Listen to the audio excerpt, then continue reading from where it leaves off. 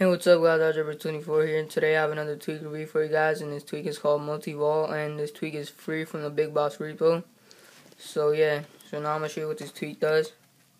So let me go on my home screen, so after you install it, you have to respring the device. So first, when you uh, install this uh, tweak and you have, after you respring, this is what you're going to see on your home screen, a new wallpaper.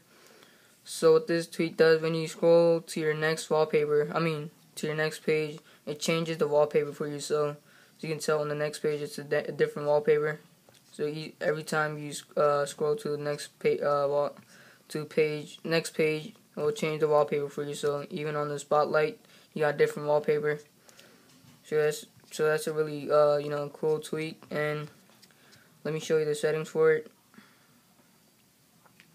So over here, over here, you go in there and then you got all these uh, settings. You also got themes but he doesn't have none right now but he only has the default.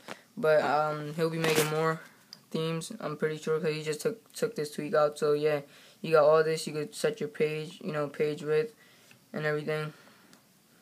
So yeah and you can also follow him on follow him on Twitter PathKiller29 alright and so yeah that's the tweak uh, Multi-Wall and it's also free so uh, you know it's really cool. And you know this video helped you know rate comment if you like this video rate comment and subscribe and thanks for watching